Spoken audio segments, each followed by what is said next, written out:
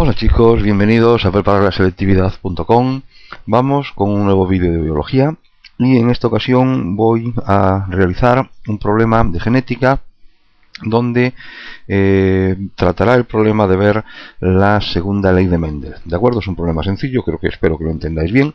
De todas formas, si tenéis alguna duda, eh, ya sabéis, me la comentáis. Bueno, el problema, según ya tenéis ahí enunciado, dice dice lo siguiente. Cuando se cruzan dos moscas negras, se obtiene una descendencia formada por 216 moscas negras y 72 blancas. Dice el problema que se representa por n grande, n grande el color negro y por n pequeña, n pequeña el color blanco. Esto supone ya que el negro es dominante sobre el blanco. Razónese por lo tanto el cruzamiento y cuál será el genotipo de las moscas que se cruzan y de la descendencia obtenida. Vale.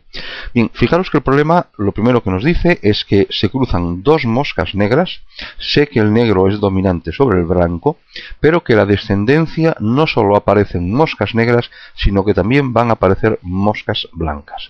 Pues mirad, según tenéis ahora en esta nueva, en esta nueva transparencia, en esta nueva imagen, solamente hay una posibilidad en la cual partiendo de moscas negras se puede llegar a alcanzar moscas blancas, que es que las dos moscas eh, parenterales sean heterocigotas en vez de ser homocigotas. Son negras, pero son negras heterocigotas. Por lo tanto, al ser negras heterocigotas, eh, el genotipo de cada eh, uno de los progenitores será n grande, n pequeña, n grande, n pequeña. Es decir, fijaos que los gametos que se ponen en juego es una n grande y una n pequeña de cada uno de los dos, de los dos progenitores.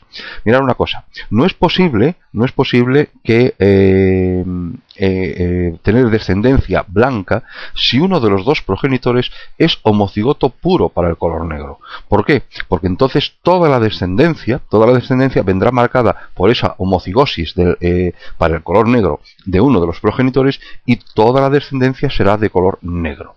Es necesario, por lo tanto, hago hincapié en esto, y esta es la segunda ley de Mendel, cuando se cruzan dos individuos que proceden de la FS1, de la, eh, de la FS1 es que eh, los dos individuos tienen que ser heterocigotos para el color para el color dominante. Bien, ahora lo único que ya queda, veis ahí el cruce de heterocigotos, es llevar a cabo el cruce entre los gametos que aporta cada uno de ellos, es decir, n grande, n pequeña de uno de, ellos, n grande y n pequeña de otro de ellos, y veis que se obtienen genotipos, los tres genotipos se obtienen, se obtienen n grande, n grande, n grande, n pequeña y n pequeña, n pequeña, cada uno en las proporciones en las proporciones que tenéis ahí un cuarto para el homocigoto dominante un cuarto para el homocigoto recesivo y un medio para el heterocigoto del color dominante desde el punto de vista del fenotipo como evidentemente tanto n grande, n grande, es decir, el homocigoto dominante como el heterocigoto son del color del dominante, en este caso negro, las moscas negras serán tres cuartas partes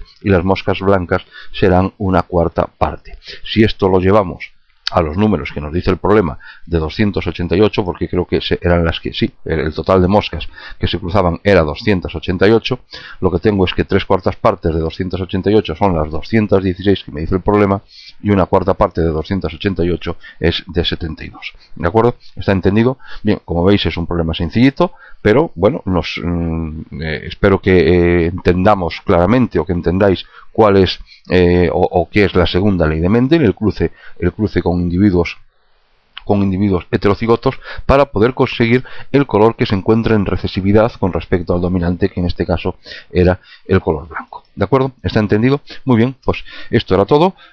muchas gracias como siempre por estar ahí y muchas gracias por ver los vídeos.